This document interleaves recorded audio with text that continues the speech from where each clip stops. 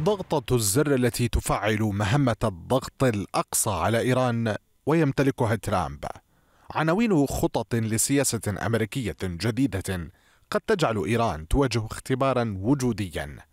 حملة ترامب الجديدة للضغط الأقصى تهدف بحسب تقارير إلى تحقيق هدف محوري وهو إفلاس إيران اقتصاديا.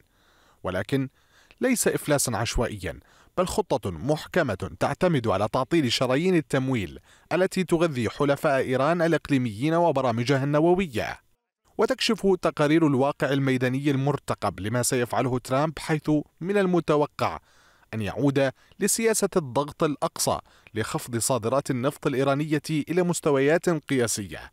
ترامب سيضاعف هذا الضغط بمنع أي شريك دولي من التعامل مع إيران اقتصاديا مستخدما التهديد بإجراءات عقابية صارمة على المخالفين.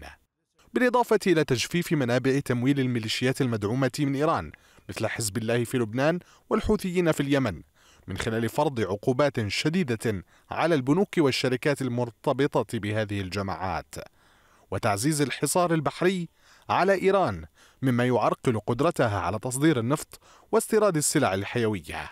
وجهات نظر ترى أن خدعة السلام من خلال القوة التي ينتهجها ترامب توحي باستخدام ذكي للغموض الاستراتيجي من خلال التلويح بالقوات العسكرية لتحقيق الأهداف دون الدخول في مواجهات مباشرة.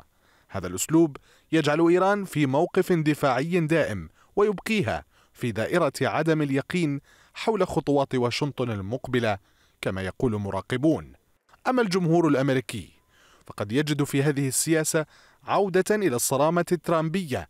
لكن السؤال الأكبر يبقى هل تستطيع إيران الصمود أمام هذا الضغط المدروس؟